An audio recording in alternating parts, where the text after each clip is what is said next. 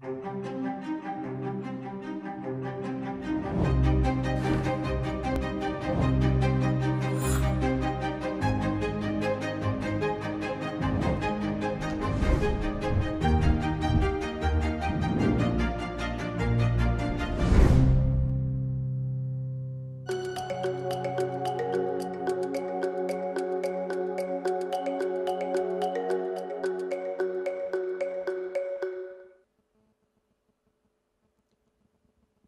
Ladies and gentlemen, welcome to the next session of uh, uh, Delphi Economic Forum. We're at day four. We are uh, uh about to start our next discussion, which is uh, the EU accession of uh, Western Balkans, credibility, predictability, and political steer. I will start by introducing our leaders from the Western Balkans and our EU Commissioner. Uh, right of this moment, uh, uh, at this moment, the Commissioner for Enlargement and Neighborhood of the European Commission, Mr. Oliver Varhelyi, is with us. The Prime Minister of Serbia, Ana Brnabic, the Prime Minister of Albania, Edi Rama, and the former Prime Minister of uh, North Macedonia, uh, Mr. Zoran Zaev. Before uh, starting to discuss, we are going to shortly watch a, a short uh, recorded message from the President of uh, Serbia, uh, Mr. Alexander Vucic. Dear Chair Nedos, dear Commissioner Varhelyi, and dear friends, Edi Zoran and Ana, I'm honored to have an opportunity to address you today and to say that we very much appreciate and respect our friendship, friendship between our three countries, Albania, North Macedonia, Serbia, but our friendship and our common path to the EU and we very much appreciate hard work, dedicated and devoted work so far done by Commissioner Varhelyi and once again, Your Excellency, thank you very much for great contribution that you have given so far to our region and to Serbia as well. Wanted to say that the Republic of Serbia has been making maximum efforts towards the reform processes along the European integration path, including the steps focused on achieving full rule of law, reform of the economic sector, and support to free media. And it's not always an easy situation, and we don't deliver always and only the very best results. But we are doing our best, and I'm absolutely certain that with your support, Commissioner Varhelyi, and with all the other European friends, we can do much more in the future. You know that with our friends from the Western Balkans, we have, we have commenced recently an initiative of some people might say mini Schengen, Edi is always angry when I when I say that because it's Serbian defiant approach. He is more rational and pragmatic. But the essence, the substance of that agreement is to organize and to secure a free flow of goods, people, capital and services. And we are profoundly grateful to European Union that has always been advocating the same values. We see that we should cooperate together not only on trade, trade related issues, we also want to improve everything that is related to connectivity and infrastructure. That's something of an, of an utmost importance for all our countries. Second, I think that big political fight for the youth and generations to come is even more important than anything else. And that's what we can do only if we work jointly, only if we work completely together. When I say together, I mean all together, European Union and all our countries from the Western Balkans. There can, there can be no sustainable future for our nations if youth remains stacked in high employment rates and without a chance to reach out to its first neighbors. Then wanted to say that we should revive and renew trust and confidence between our countries. And I can tell you that you cannot easily find people, and I'm very proud of that fact, in Serbia that would say something not against North Macedonia, it has never been the case, but not even against Albania. And that's something that I'm very much proud of. And that's a result of our common work in the last few years. And uh, wanted to say that I think that we have a lot of, a lot of space to improve our relationship, uh, working together on economical issues, on economic issues, but also on political agenda. And uh, let me finish and would like to ask you, Commissioner Varhelyi, once again, just to keep on working dedicatedly as you have already done so far, because that's very important for all three of us. And I wish all three governments to build bridges of confidence, trust, and faith between each other. And uh, that's something that people from our region will know how to respect and appreciate. And let me finish this brief statement with Henry Ford's words, which I like the most. Coming together is a beginning, keeping together is progress, working together is a success. Thank you all and wish you great work and uh, hope to see you and to host you all as soon as possible here in Belgrade. Well, that was the recorded message of uh, Mr. Vucic. I will uh, Uh, uh, uh, right away go to Mr. Varhelyi and ask for an initial comment uh, on what are the next steps that we are waiting on the process of your office, actually, EU enlargement during the the next few months. I would say we know that there is a new framework that is about to be to be presented. Uh, we are also expecting what's going to happen uh, in the next uh, negotiating steps with Serbia. So, can you please give us some insight on that? Thank you very much. First of all, thank you very much for having me, and uh, thank you very much for uh, the possibility to contribute to this uh, very famous forum of the Delphi, the Delphi Economic Forum. I'm quite sad that we have to do it uh, over a video, but maybe next year uh, we would be fortunate to visit that uh, that wonderful city of Delphi. Um, first of all, as uh, you have seen, or you may have seen, this uh, commission from the very first day, uh, including myself in it, has taken the Western Balkans and the relations with the Western Balkans to be a high priority, maybe one of its uh, uh, highest uh, priorities.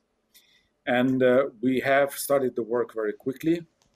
And I'm quite happy to, to list all the things we have done because among them we already have some common results that we have been able to put together. You have seen uh, that uh, compared to last October, we have a new methodology for uh, the enlargement negotiations, and we have been able to open the accession negotiations with North Macedonia and Albania.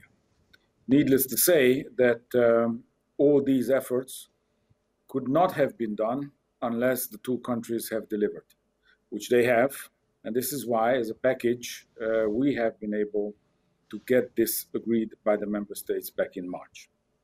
Uh, unfortunately, our work got interrupted. Uh, the third element is still missing, which is a substantial uh, economic development and investment plan for the entire region.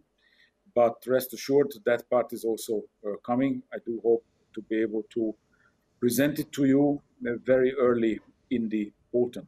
All this is, of course, uh, dependent uh, on the adoption of the MFF uh, for the EU. Now, uh, the COVID crisis unfortunately interrupted uh, our work a bit, not so much, because uh, for the time being, uh, we only missed one deadline, and I, and I will work very hard that the delay is not going to be significant. Uh, other than that, I think we have been able to deliver also uh, in relation to the COVID crisis. We have provided a help of over financial assistance over 3.3 billion euros during the crisis. and we have also shown our solidarity and the importance uh, to keep us together with the Western Balkan countries through the Zagreb summit, uh, where our leaders, uh, as an exceptional uh, occasion, have devoted one of their uh, video uh, meetings with the leaders of the Western Balkan. I think this is also a very important sign how committed we all are to have the Western Balkan integrated into the EU. We will come forward.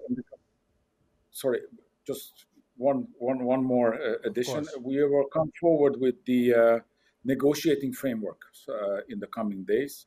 This is the next step uh, in the accession negotiations uh, with Albania and North Macedonia. Uh, and on that basis, we, we start very quickly work in the council so that we get the approval of the member states to move on. Great, Mr. Varhelyi, thank you. Keep.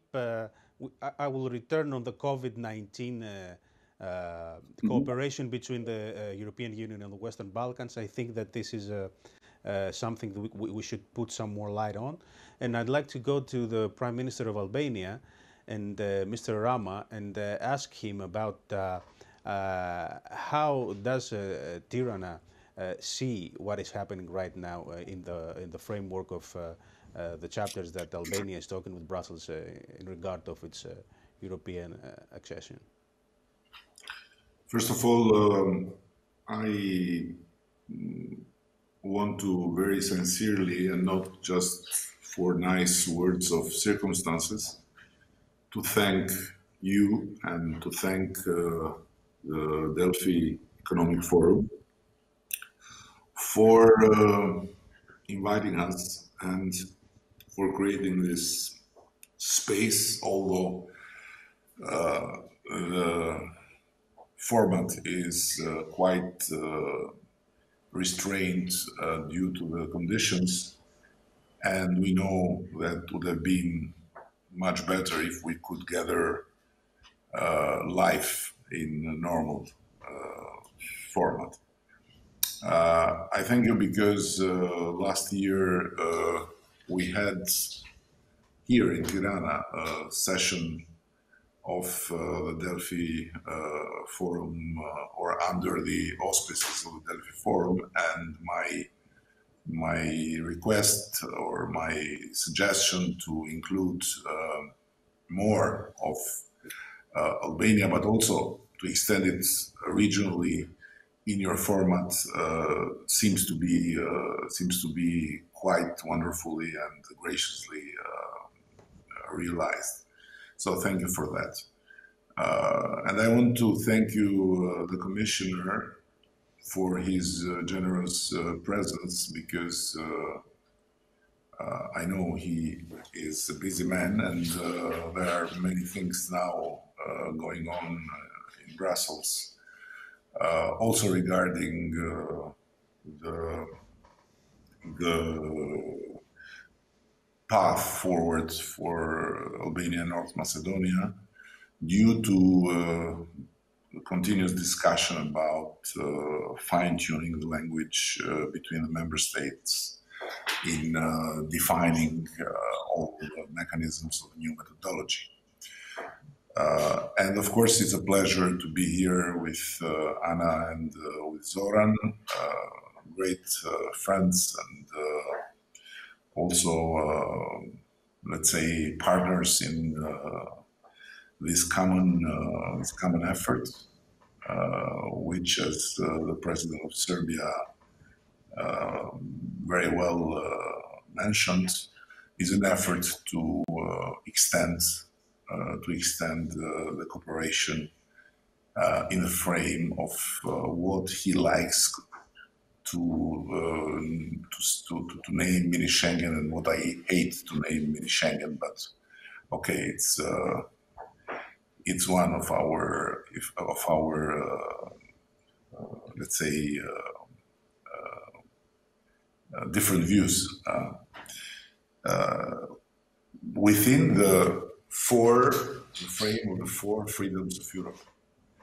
so freedom of movement of people, of goods, of uh, capitals and services. And uh, it looks it looks quite uh, easy and it looks quite natural and it looks quite simple, but it's not easy and it's not simple. We know that uh, it's not, uh, let's say, uh, just a walk in a in a, in a paved uh, road, but it's uh, it's really a struggle, and uh, we have to fight with many with many uh, shortcomings uh, of our own administrations, uh, of our own, I mean, the society's mindset, and all the rest. But I see it as as a process that is complementary with our integration, uh, EU integration in the whole process. And I'm uh, grateful to the commissioner because uh, he has not only uh, praised it in words, but he's uh, working uh, with us to to make it make it real indeed. And this is this is a good thing. And more EU will recognize this process as not only uh, not only good in principle, but uh, necessary in the in the real in the real uh, effort and the real uh, work about EU integration itself, better it will be for everyone. And uh, the last thing I would say is that um, we have a lot of things to, to do, for sure. Uh, but if we just assess from where we started, many things and many changes uh, have happened. And the communication, the interaction, the, the mutual understanding, the way to address uh, address uh, conflictual, uh, not only opinions but situations, uh, has uh, has improved has improved dramatically. And this is this is really uh, a very sane uh, process. And uh, I very much hope, and I conclude here, that Delphi Forum will be an added value to, to this process because we need we need to work a lot together among our countries in the region. And uh, we need also partners that will uh, be part of this joint work when it comes to promote our cooperation in terms of concrete projects, in terms of investments, in terms of uh, in terms of reaching out to let as much as possible people around us and around the world uh, uh, be informed and understand how much uh, things are changing here and uh, how uh, much potentials these countries uh, have and, uh, and how many opportunities uh, we can offer them all together. So thank you again, and and yeah, so let's continue work together and let be together hopefully next year in a different uh, in a different atmosphere and uh, you know not just in virtual space uh, thank you, Mr. Prime Minister. I would uh, like now go to Belgrade and uh, ask uh, Ms. Brnabic. Of course, we already heard the President addressing some of the general uh, points uh, that uh, Serbia views its European Union negotiation uh, and report, I would generally say. I would like to ask you something, uh, I would say probably a little bit more philosophical.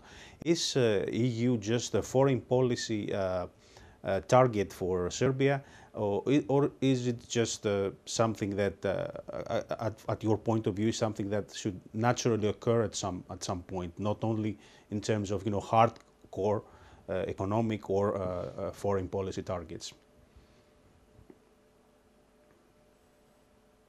everyone. I'm, uh, I'm glad to see you all, and I hope that uh, soon enough we will be able to see each other in, in person. Uh, conferences in person, I think, make much, much more sense.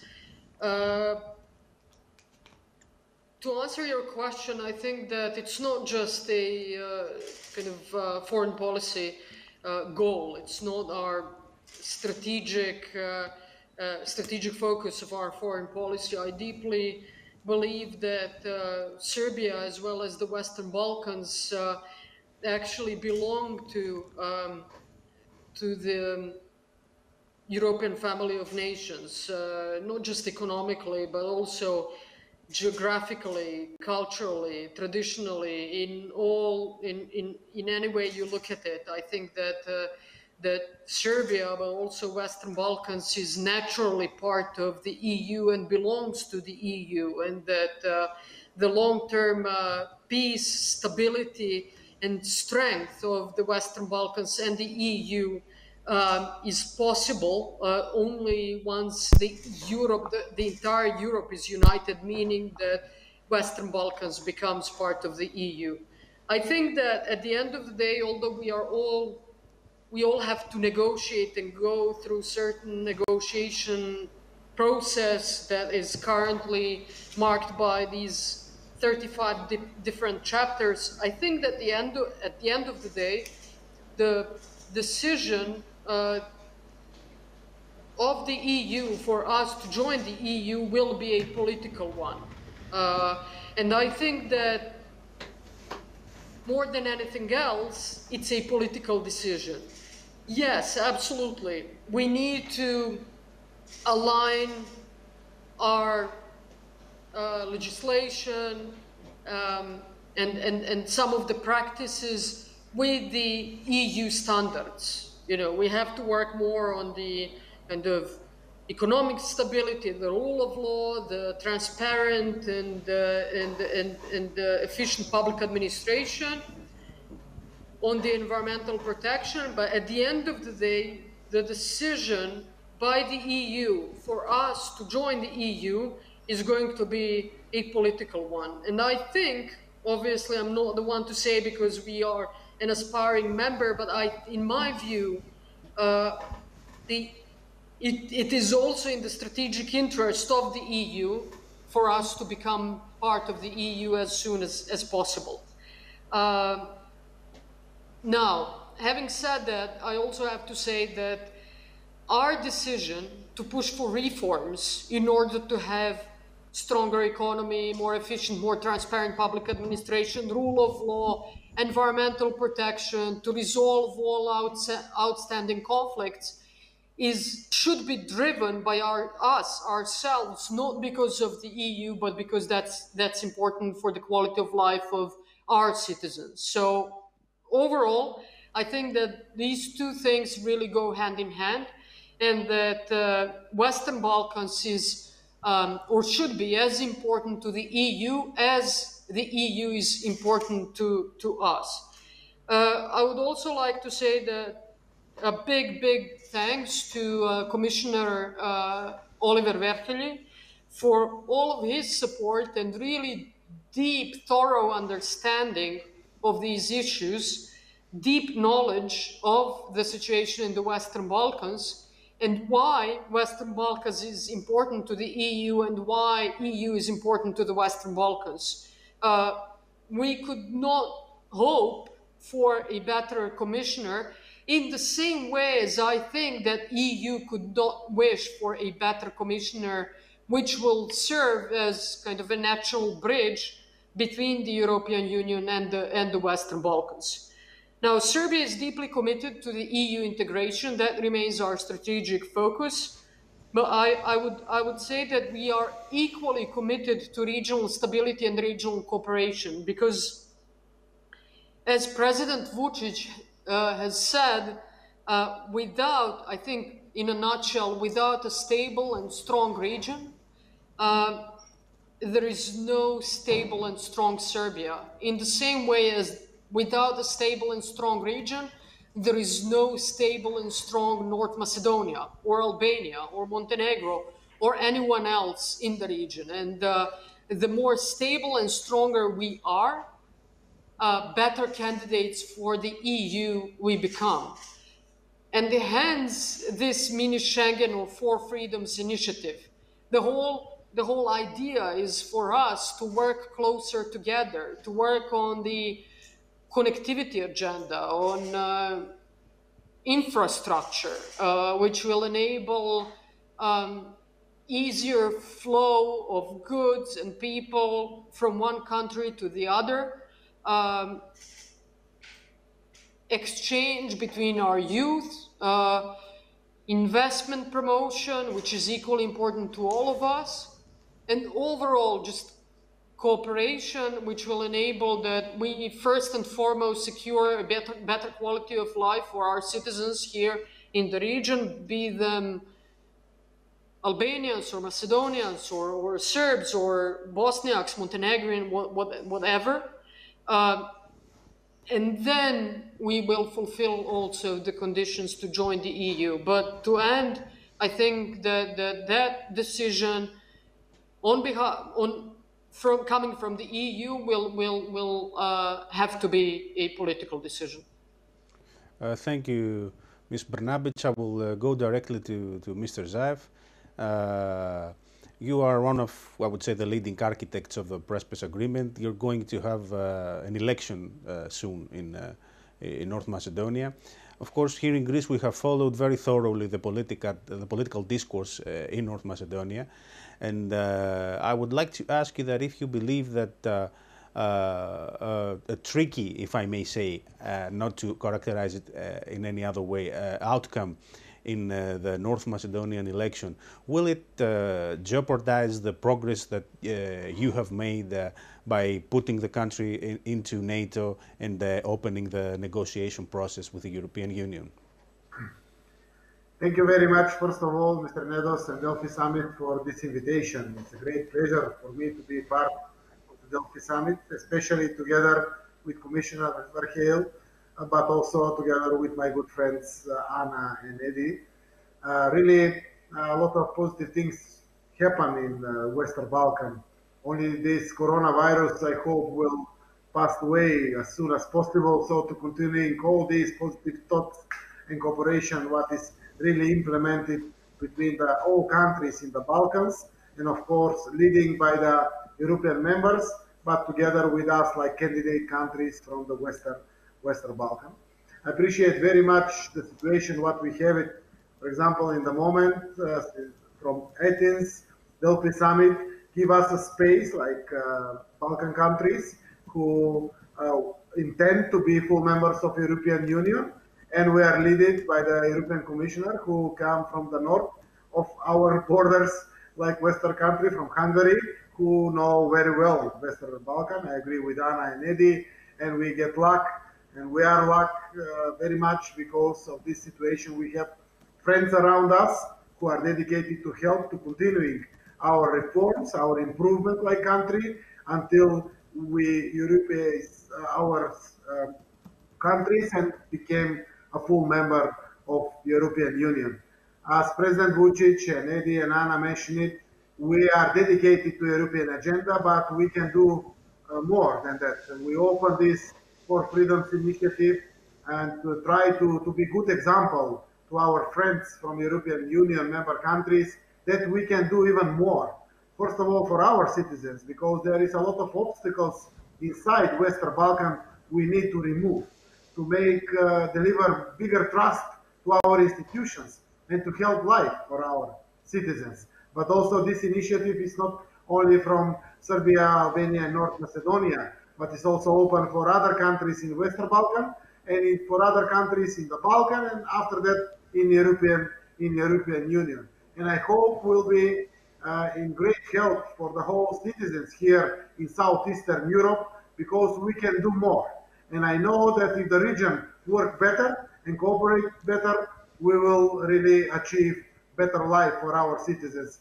And especially to stop this migration from Southeastern Europe going in the Western and North Europe because we need qualified workforce and we need our young people like motor power to keep in our region and to, to, to deliver the trust for the future in the next generations.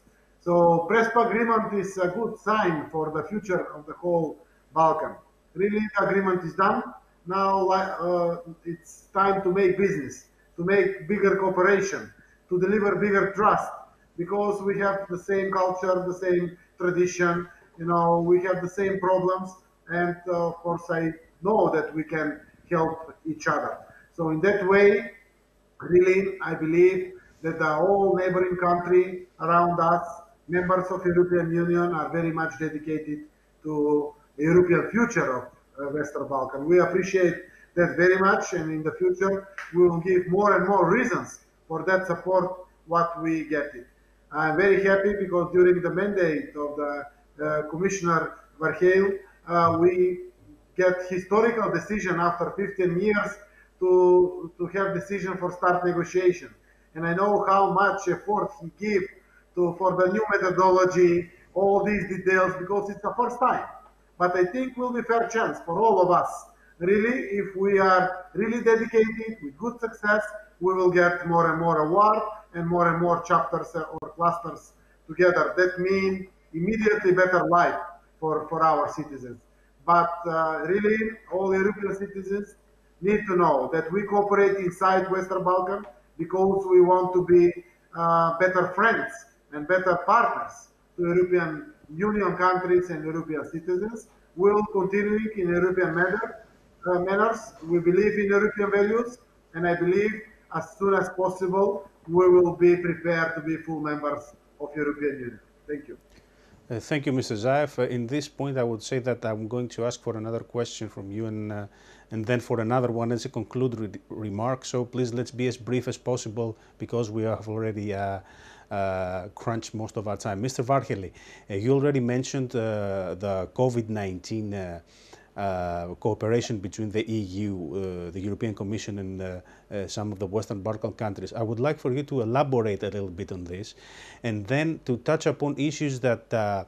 Uh, are uh, about economy and about connectivity, digitalization, and how uh, can the European Commission, can the European Union help these countries meet the European standards even before going into full integration, full accession. Thank you.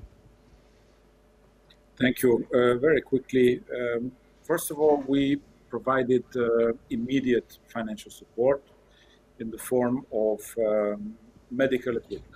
We dedicated 80 million euros uh, to that.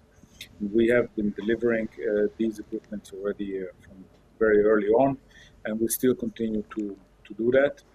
Uh, on top of that, we are allocating another 455 million euros for the second uh, part of the crisis, which includes also uh, the economic uh, side uh, of uh, the damage that this virus has caused.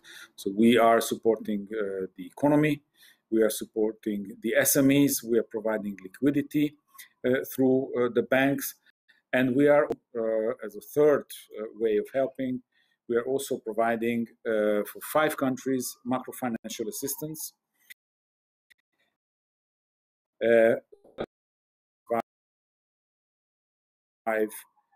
this uh, crisis. Uh, this is a very important package that we have put together. Altogether, we are talking about 3.3 billion euros in help to the region. On top of this, we have included uh, the Western Balkans in many of our uh, initiatives that have been reserved for the member states to help uh, them with the crisis. The first was the Green Lane initiatives. I, I, really salute each and every country in the Western Balkans that they understood very quickly and they implemented it very quickly so that the economies could continue to function. And we had um, a regional cooperation unprecedented and on which uh, we want to build the next, uh, the next part of our journey, which is the economic development plan. Uh, as recently as yesterday, uh, we have uh, adopted um, uh, for our member states how and when to reopen the borders within the EU, but also towards third countries. And in that, we made the proposal so that, that uh, our, uh, the borders with third countries to the Western Balkans as early as from 1st of July. I do hope that our member states will be will be uh, taking this recommendation of ours. And I also have to say a big thank you to of the Western Balkans because they have also provided help, very valuable help to our own member states uh, by sending doctors, by sending medical equipment. I think it was a, a great, great show of solidarity. Now, on the economic uh, development plan and investment plan, as I said, this is due in um, in uh, uh, um, autumn, early autumn, and uh, we try to bring closer the the economic development much faster to the Balkans, to integrate their economies much faster, much more meaningfully um, in in an accelerated fashion. In that, of course, connectivity, be it uh, transport, be it energy, is going to be key. But also, we want to um, include our Western Balkan partners in our own policies like the Green Deal uh, or the digital uh, economy, the digitization of our economies. And for that, uh, we will have funds dedicated in the next MFF once our member states agree on it. We made a proposal to raise the IPA funding back to where we have been proposing it in 2018. So we are allocating to the IPA funding 14.5 billion but we made a new proposal so that from the recovery instrument can benefit. We are provide we are proposing to the member states 10 and a half billion euros in the neighborhood and development uh, cooperation instrument, uh, part of which uh, is dedicated to the Western Balkans. So we are we are in this together, and we will work together and we will make uh, the Western Balkan much to us. Thank you, Mr. Varhelyi. I will go to, to Mr. Rama now. And uh, I would like to ask, you know, I can't help that I'm also a diplomatic editor. So, uh, you know, there are uh, bilateral issues between uh, between Greece and Albania, uh, which could, uh, which I'm quite sure that uh, you want them resolved be before entering the European Union. And uh, actually, uh, there is a hot topic here in Greece uh, the, during the last days. there was a the maritime zone agreement between Greece and Italy. Greece and Albania do not have a delimited maritime zone, and I wanted to ask you that if you see foresee something happening in that uh, respect uh, in the following future? First of all, I don't think that uh, we have particular problems uh, with Greece, between Albania and Greece. I think uh, there are issues uh, that need to be addressed and have been addressed have been addressed uh, in the past, uh, are being addressed, and progress has been and is being made. Um, but of course, there is still to do. Uh, let me give you an example. Uh, there is uh, there is an issue that comes uh, that comes forward time after time on the Greek side about um, the so-called property rights of the minority. Uh, is it true that uh, uh, people uh, of the minority have uh, problems with uh, rights of property? Yes, but it's only them having problems with rights of property? No, the whole country.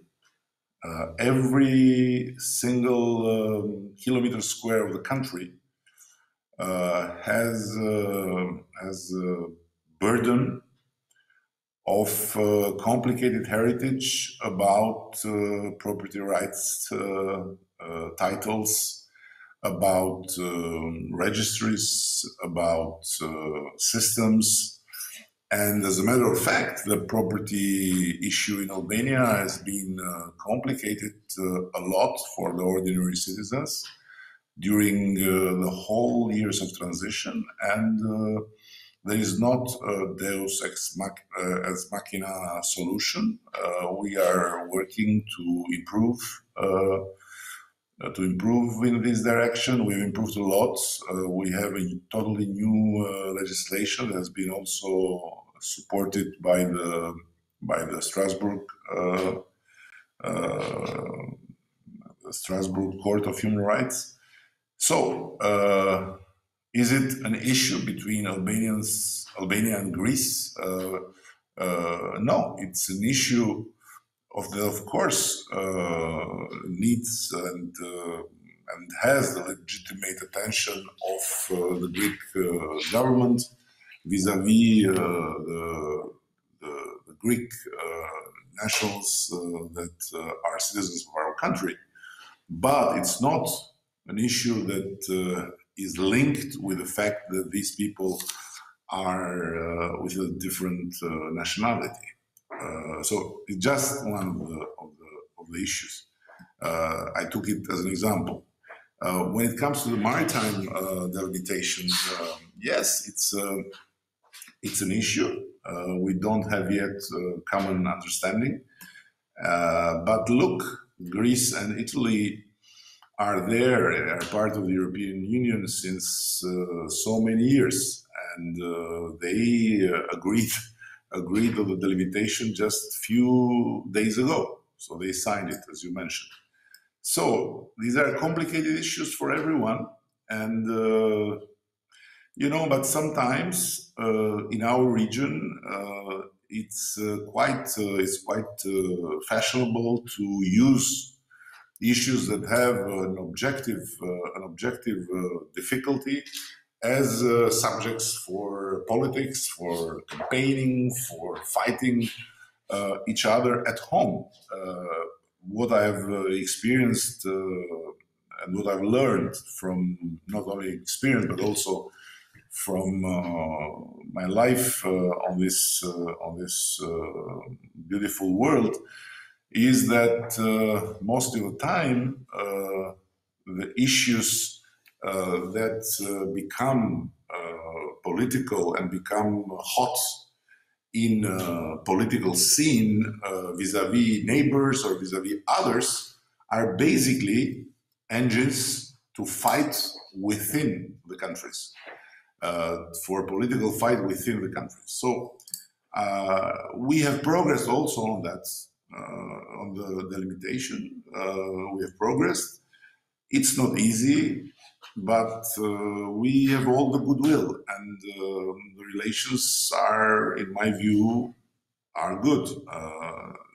and there is one thing. There is one thing which is absolutely true.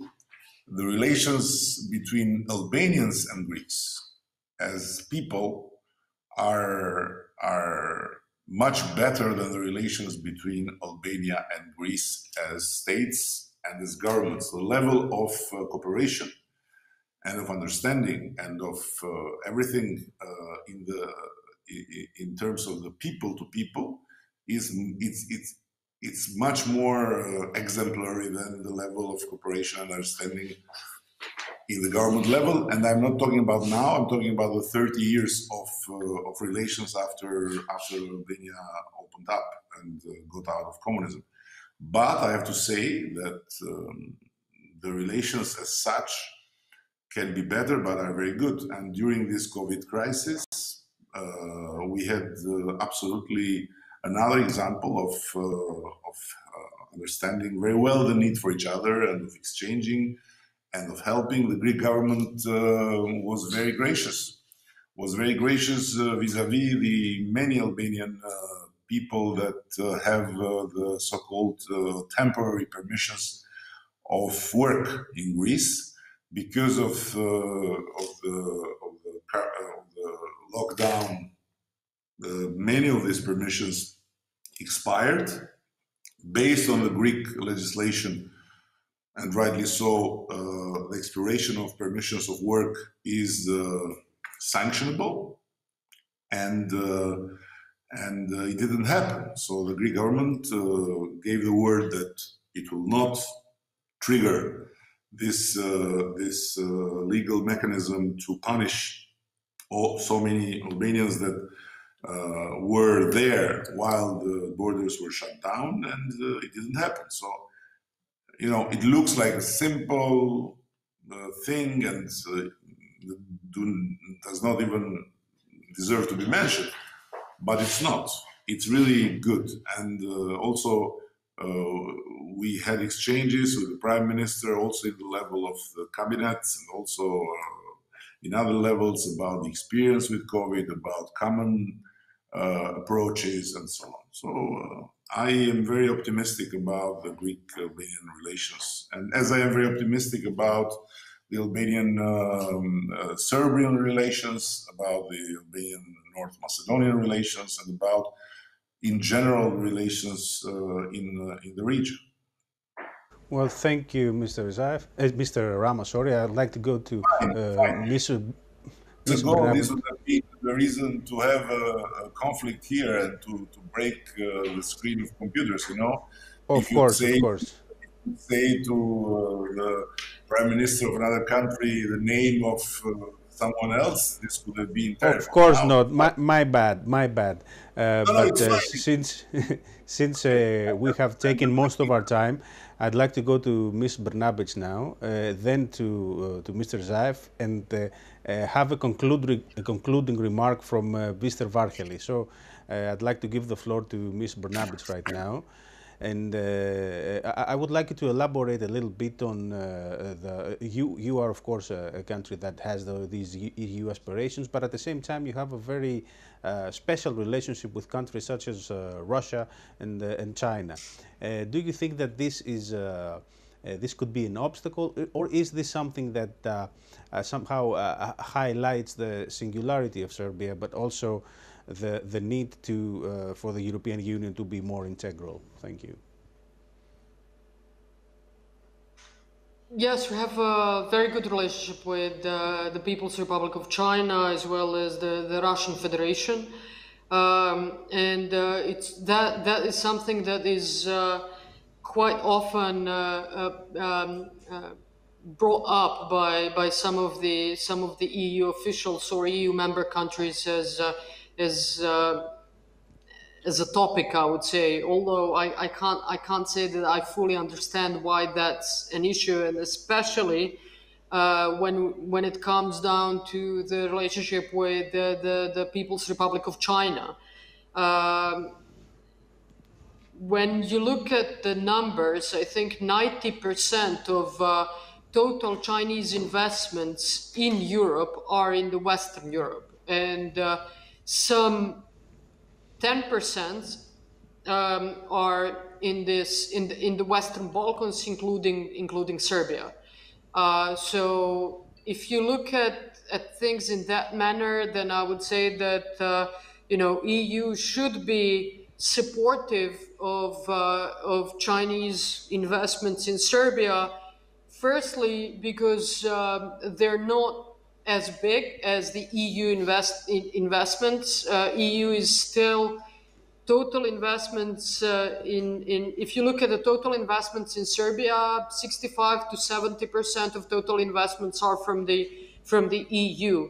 Secondly, because the Chinese investments in Serbia also strengthen Serbia's economy, and uh, it's in the EU's interest that Serbia's economy is, is growing stronger. Uh, it's also one of uh, one of the one of the goals I think of the stabilization association process is that not just Serbia's economy, but all of the accession countries' eco economies are, are, are getting stronger so that once we become part of the EU, um, we, we do not uh, lag behind and we do not need that kind of um, financial assistance that some of the some of the EU member countries that later joined the EU needed. Uh, so in that respect, I think the Chinese investments in Serbia, also considering that they are very minor uh, compared to the EU investments in Serbia, are taking us in the direction that also EU wants us to go.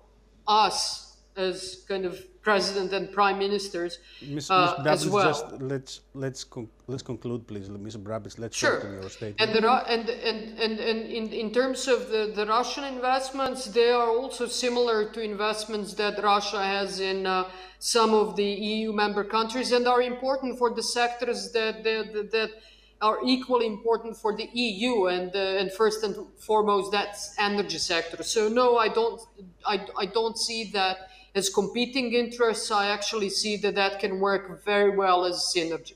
Thank you. Uh, Mr. Zaev, please, a short comment from you, like a concluding remark, and then I'll go to Mr. Varhelyi. Please, as short as possible, because we're almost out of time. Okay, with uh, last three years uh, achievement in the whole region, not only for North Macedonia, I think that all together, all us together send a message of bigger friendship here in the whole region. I think that we really need to help each other more and more. I will use opportunity only to invite everybody to think about to uh, very soon open borders to support each other economically to, through tourism, but also through better trade. Normally, because we need to function during the, this Corona crisis, because even our national strategies will become our regional or our continental strategies here, because we need to work in economic way. So helping each other uh, during the whole period of time, I think will put every economy, every state in a better position because we are really very much connected. And even this Delphi summit give us opportunity once again to be more connected, to be more honest and more friendly. And I hope that we will be, at the end of the day, better servants to our citizens and to the whole region. Thank. Well, thank you, Mr. Zaev. Now, Mr. Varhelyi, please conclude this uh, discussion for us and uh, share uh, a few insights from what are the EU plans from now on. Um, well, as I said, uh, the major uh, the major part still missing from this renewed enlargement strategy is the economic development and investment plan. And once we have that in place, I think it will be a, a, key tool also for the post-pandemic economic recovery. And not only that, but it is going to deliver mid-term, long-term economic strategy for the entire region, not only for those uh, countries uh, who are negotiating for membership, but also those who, who have not yet started that process, but hopefully we will start uh, doing that uh, also. I think uh, with this uh, last element still missing, we will reestablish the importance of the European Union and the importance of cooperation uh, between the European Union and Western Balkans on the Western Balkans. I'm, and I'm more than happy to work for that. Well, thank you, Mr. Commissioner. In this point, I would like to uh, conclude this uh, uh, online uh, session. Thanks, Mr. Varhelyi. Uh, Ms. Brnabic, uh, Mr. Rama, I hope next time we ask you for an interview, you won't remember this. And Mr. Zaev.